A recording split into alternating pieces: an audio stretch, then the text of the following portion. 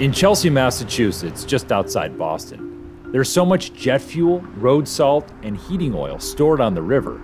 It's hard for some residents to even get close to the water. When you're young, that's the kind of thing you notice. You wouldn't see that in a white neighborhood. You wouldn't see any industries, any like smoke, any pollution because a lot of like the teenagers in Chelsea lived in Chelsea since they were children. These high school students are environmental activists at a nonprofit called GreenRoots. I feel like adding more green space would help people in Chelsea go out more. They work alongside adults advocating for environmental justice in their hometown. I hope that they would understand and get a chance to experience that people will take them seriously when they speak to concerns and they speak to problems that they are facing. With a group like this, so focused on environmental problems in their neighborhood, it should come as no surprise that they're also worried about climate change. We impact not just ourselves, but the whole world.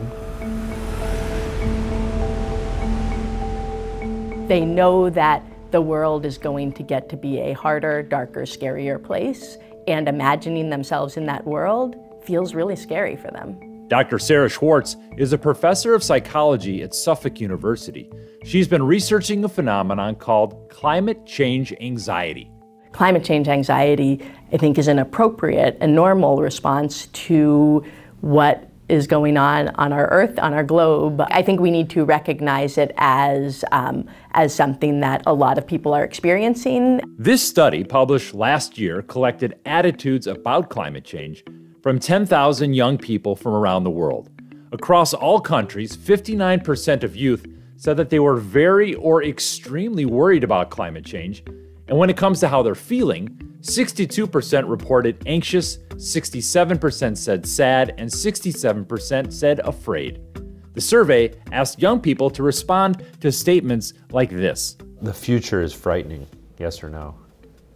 Yes, the future is frightening because, you know, we see how all this has happened in such a short amount of time. And if we look into the very future without any change, it's not looking that good for us, no. People have failed to take care of the planet.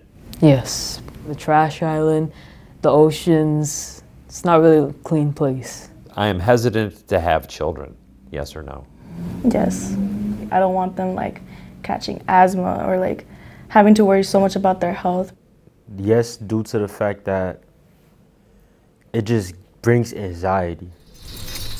Dr. Schwartz says activism may be an effective way for kids to deal with those feelings. So you can flip that one over. Research found engaging in activism, like these students building a pop up park in their neighborhood, may help prevent symptoms of depression. Our research does suggest that um, climate activism may serve as some sort of buffer protective effect for climate change anxiety. And being part of that feels like I'm part of the solution. Yeah, yeah, I'm part of the solution, and um, there's a whole lot of people with me doing this, so I, I'm not alone with my worries. That feels right to these young activists. And I think that if there's more people like this working towards a better future, I feel like there can be a change. It helps me deal with it like I'm not the only one. Is there moments where you're just like, wow, nothing's ever gonna change, but then there's also that small feeling that there's still hope, that people will change, that people will come together to help save humanity. Hope. It's not a strategy for tackling the challenges of climate change, but for a younger generation, it may be the best place to start. I'm David Schechter, CBS News.